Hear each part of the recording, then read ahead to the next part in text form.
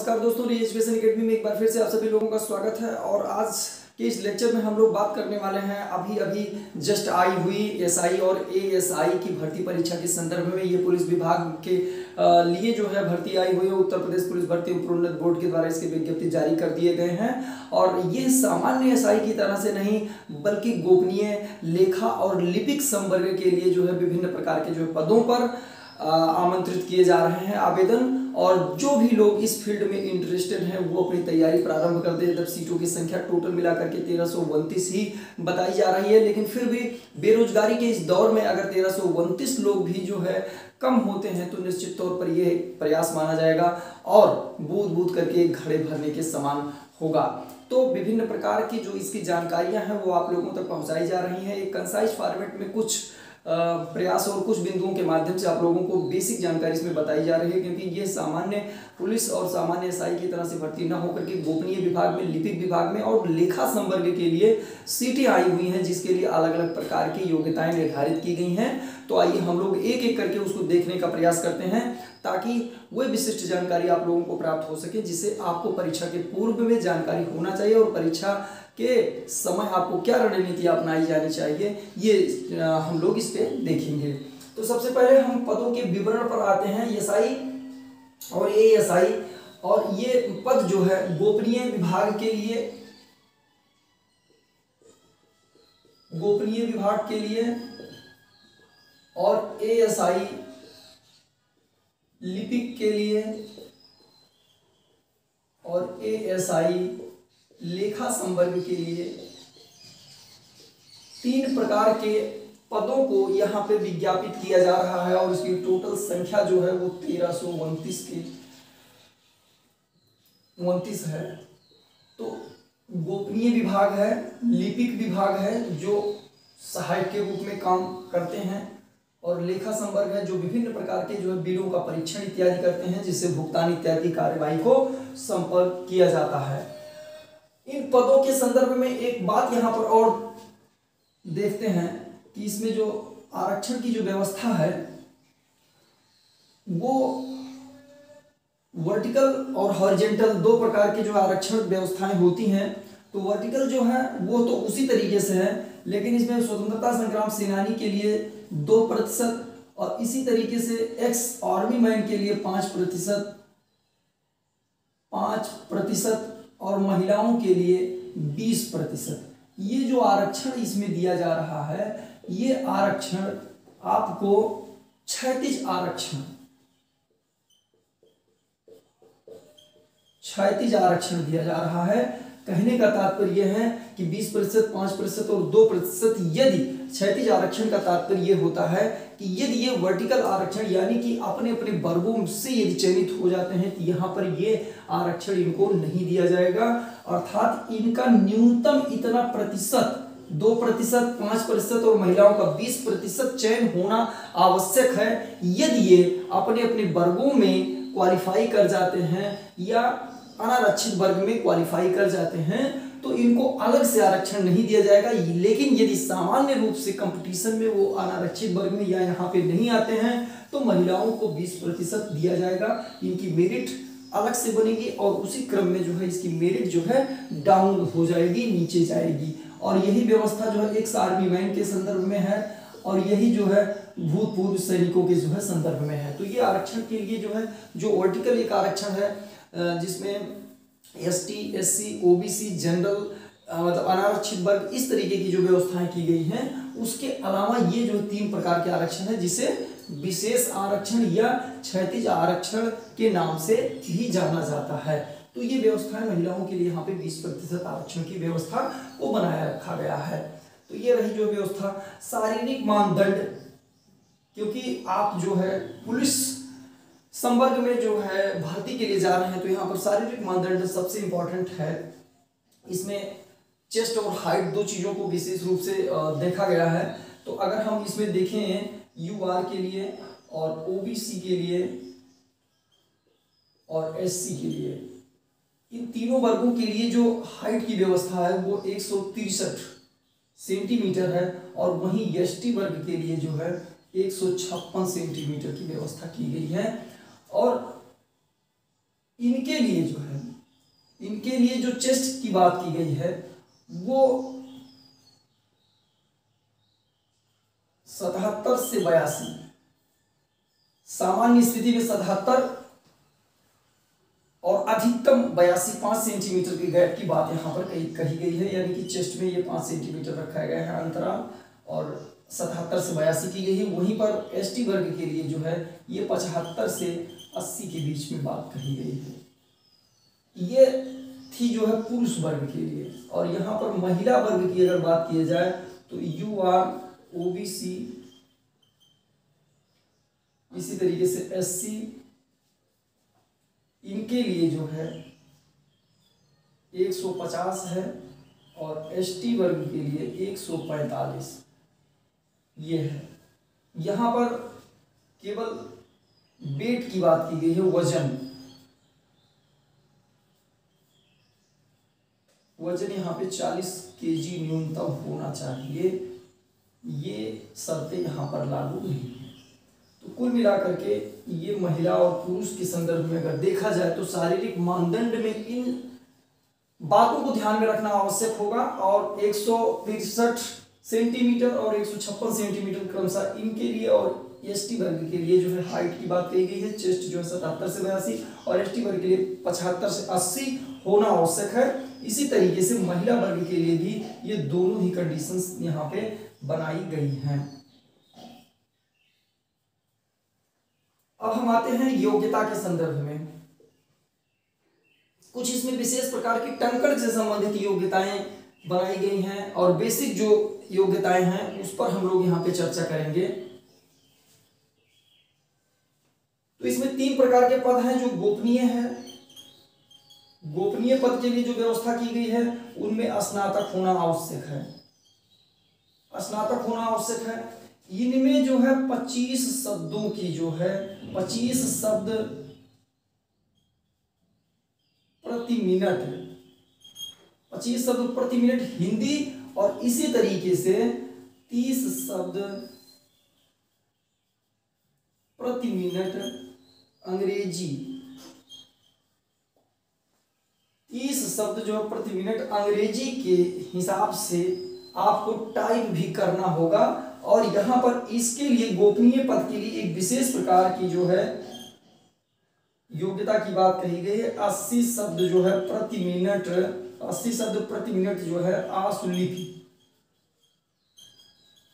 आशुलिपि जो है की व्यवस्था की गई है। यह केवल गोपनीय पद के लिए, एसआई गोपनीय पद के लिए यह व्यवस्था रखी गई है। ये जो है आपके बयालीस सौ ग्रेड पे का जो है पोस्ट भी है और यहाँ के लिए जो है ओ लेवल भी होना आवश्यक है। ये तब ओ लेवल सभी के लिए जो है मांगा गया है।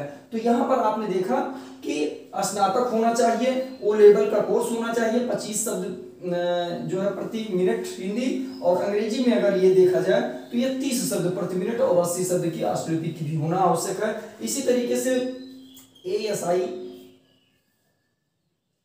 लिपिक वर्ग के लिए अगर हम बात करें ए एस आई लिपिक वर्ग की हम लोग बात करें तो यहाँ पर जो भी स्नातक की बात कही गई है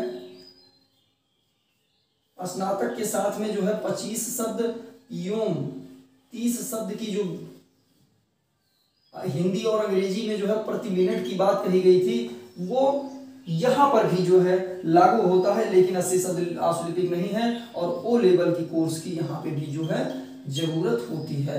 तो इसलिए स्नातक ओ लेवल और 25 शब्द हिंदी और अगर, अंग्रेज़ी में देखेंगे तो 30 शब्द प्रति मिनट की दर से जो है टाइप या टंकड़ की योग्यता का होना आवश्यक है। इसी तरीके से अगर हम ए एस आई लेखा संवर्ग की जो है बात करें तो यहाँ पर भी जो है स्नातक, या स्नातक कहने का तात्पर्य है कि तीनों ही वर्गों के लिए जो है ज़रूरी है स्नातक तीनों में होना आवश्यक है। स्नातक के साथ साथ यहाँ पर पंद्रह शब्द प्रति मिनट जो है वो हिंदी में जो है टाइप की बात कही गई है और ओ लेवल तीनों में है तो यहाँ पे भी ओ लेवल की बात कही गई है। अर्थात तीनों ही पदों के लिए ओ लेवल और स्नातक आवश्यक है।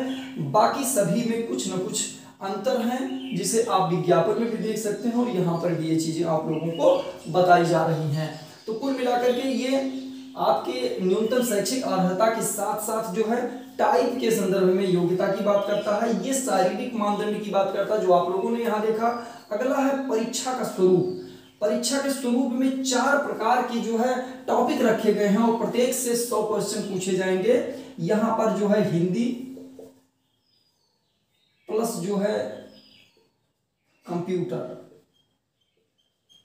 हिंदी और कंप्यूटर से सौ क्वेश्चन इसी तरीके से जीएस एंड करंट अफेयर्स से सौ question math and reasoning math and reasoning से सौ क्वेश्चन इसे ही वहाँ पर संख्यात्मक योग्यता और मानसिक योग्यता के रूप में लिखा हुआ है। सामान्य अध्ययन और समसामयिकी लिखा हुआ है। और अगला है अभिरुचि। वो आप अभिरुचि का तात्पर्य होता है। एप्टीट्यूड आपके पद के अनुरूप जिस तरीके की चीज़ों की ज़रूरत होती है, उसमें आपकी परीक्षा ली जाएगी। इस प्रकार के नेचर और कल्चर में आपकी समझ किस तरीके की है, वहाँ पे अभिरुचि से रिलेटेड क्वेश्चन पूछे जाएँगे, आपके आईक्यू से रिलेटेड क्वेश्चन पूछे जाएँगे, और तार्किक क्षमता तार्किक क्षमता से क्वेश्चन यहाँ पे भी जो है सौ प्रश्न पूछे जाएँगे। टोटल आपका सौ सौ सौ और सौ। इस तरीके से आपके प्रश्न पत्र जो है होंगे, ये लिखित परीक्षा का फॉर्मेट है। यहाँ पर सबसे इंपॉर्टेंट जो हर बार की परीक्षा में अलग अलग होता है और जो ध्यान देने की बात है कि वो इंडिविजुअल सेक्शन वाइज जो है पैंतीस प्रतिशत मार्क आपको प्राप्त करना आवश्यक है। और अगर टोटल में देखा जाए तो ये टोटल में जो है आपको टोटल का 40 प्रतिशत मार्क्स प्राप्त करना आवश्यक है। इन शर्तों को पूरा करने के बाद ही आप मेरिट सूची में आएँगे और आपके पदों की संख्या के अनुरूप आप मेरिट सूची के आधार पर चयन किए जाएँगे। यद्यप पास होने का इसमें कोई भी आधार नहीं है कि आप नौकरी के लिए दावा ही कर पाएँगे, क्योंकि ये एक जो है ये क्वालिफाइंग नेचर की जो है व्यवस्था है, ये क्वालिफाइंग करने के बाद ही आप मेरिट सूची में जाएँगे और उसके आधार पर ऊपर से नीचे की तरफ़ जो है आपके मेरिट बनाए जाएँगे और इन पदों की जो संख्या है टोटल मिलाकर के उसके आधार पर, आपके वरीयता क्रम के आधार पर, वो सीटें आपको आवंटित की जाएँगी। तो ये रही व्यवस्था परीक्षा के संदर्भ में। यहाँ पर एक और चीज़ें हैं, चयन। चयन का जो आधार है, यहाँ पर दो चीज़ें हैं। एक जो शारीरिक मानदंड और आपके अभिलेखों की समीक्षा या परीक्षा होगा। ये और प्लस जो आपकी योग्यता टाइप टर्नकर की है, ये दोनों ही जो है क्वालिफाइंग नेचर की है। इसे पास करने के बाद ही जो है आप इस पर विचार किया जाएगा। और ये जो शर्तें पैंतीस परसेंट, चालीस परसेंट की अगर आप पास करते हैं तो इन लिखित परीक्षा के आधार पर प्राप्त हुए अंकों की गुणता सूची या मेरिट सूची में आपको इन पदों के आधार पर आवंटित किए जाएँगे। तो कहने का तात्पर्य है, आपकी लिखित परीक्षा ही यहाँ पर सबसे इंपॉर्टेंट है। और इन परीक्षाओं में जो है, आपको सौ सौ प्रश्न यहाँ से जो है दिए जाएँगे और उनमें मिले अंक ही आपके चयन का आधार होंगे। तो अगली बात है रणनीति। यहाँ पर जो 35 प्रतिशत और 40 प्रतिशत की जो शर्त लागू की गई है, यह भी आपके रणनीति को बनाने का एक महत्वपूर्ण आधार और कारण बनता है, क्योंकि यहाँ पर आप किसी भी एक टॉपिक को बहुत अच्छा करके और दूसरे टॉपिक को सामान्य रूप से तैयारी करके निश्चित तौर पर परीक्षा से बाहर हो जाएँगे। तो ऐसी स्थिति में आपको ये ध्यान में रखना है कि हमें अपने सेक्शन के सभी, अपने जो है इस परीक्षा के जितने भी सेक्शन है टॉपिक हैं, उन सभी टॉपिक्स और सेक्शन को सामान्य रूप से ही, लेकिन सबकी तैयारी करना है और सब पे समान रूप से समय देना है और विशेष रूप से जो अभी तक समस्या रही है, लोगों को गणित को लेकर के तो आपको गणित की तैयारी अभी से प्रारंभ कर देना चाहिए। खैर, इसमें रीजनिंग का सेक्शन दे करके आप लोगों के लिए ये एक महत्वपूर्ण और आसान बनाने वाला जो है टॉपिक किया, क्योंकि रीजनिंग ज़्यादातर लोगों की तैयारी होती है और लोग वहाँ से क्वेश्चन हल कर पाते हैं। तो रीजनिंग की भी तैयारी कीजिए, विशेष करके चौथे सेक्शन जिसके की स्टडी मटेरियल आपको नहीं मिलते हैं इस टॉपिक को भी आपको तैयार करना है और हर सेक्शन से ज़्यादा से ज़्यादा प्रश्न जो है एकत्रित करने का प्रयास करना है। इसलिए आप दो दो टॉपिक को एक साथ में प्रारंभ कीजिए पढ़ने के लिए। एक कठिन टॉपिक एक सरल टॉपिक जिससे आपकी तैयारी जो है बहुत ज़्यादा बोरिंग भी ना हो सके, बहुत रूखा ना हो सके और इंटरेस्टिंगली जो है आप आगे जो है बढ़ते रहिए। तो यहाँ पे आपको सभी सेक्शंस में बैलेंस बनाना है और सभी सेक्शन से ज़्यादा से ज़्यादा क्वेश्चन करने का प्रयास करना है, परीक्षा में प्रश्न को पढ़ने के बाद पूरा प्रश्न आप ज़रूर पढ़िए और चारों विकल्प आप ज़रूर पढ़िए, क्योंकि ऐसा करके आप गलती जल्दबाजी से होने वाले एक एक सवाल दो दो सवाल की गलती को बचा सकते हैं। अगर मान लीजिए सौ क्वेश्चन यहाँ पर है और जल्दबाजी करने के कारण से दो क्वेश्चन आपका गलत हुआ, यानी कि टोटल में आप आठ क्वेश्चन गए तो मेरिट सूची में आठ अंक गलत होने की वजह से आप बहुत नीचे आ जाएँगे। इसलिए आपको प्रश्न पत्र में जो है सावधानी जो है बरतना बहुत ज़रूरी है। यानी कि प्रश्नों को पढ़ने में और विकल्प को पढ़ने में ये दोनों बहुत ज़रूरी है। चारों टॉपिक के बीच में आपको संतुलन तैयारी में करना बहुत ज़रूरी है। और विशेष करके चौथे पेपर का स्टडी मटेरियल आपको तैयार करके इस पे प्रैक्टिस करना बहुत ज़रूरी है, क्योंकि तार्किक क्षमता यानी कि निष्कर्ष निकालने वाले जो प्रश्न होते हैं या अभिरुचि से संबंधित प्रश्न होते हैं, उसकी एक संस्कृति और कल्चर के बारे में समझ होना आपके लिए बहुत आवश्यक है। तो निश्चित तौर पर आज के इस टॉपिक में हम लोगों ने एस आई और एस ए एस आई जो कि गोपनीय लेखा और लिपिक संवर्ग में भर्ती उत्तर प्रदेश पुलिस भर्ती एवं प्रोन्नत बोर्ड के द्वारा आई है, उसके बारे में एक सामान्य जानकारी आप लोगों को मिल जाती है। और अगले टॉपिक में इससे रिलेटेड हम कुछ और भी जो है महत्वपूर्ण जानकारी और महत्वपूर्ण रणनीति स्ट्रेटेजी लेकर के आप लोगों के लिए आएँगे। तब तक आप लोग अपनी तैयारी को सही दिशा में ले जाने का प्रयास कीजिएगा। पुनः एक नए लेक्चर में एक नए टॉपिक के साथ मिलेंगे। तब तक के लिए नमस्कार।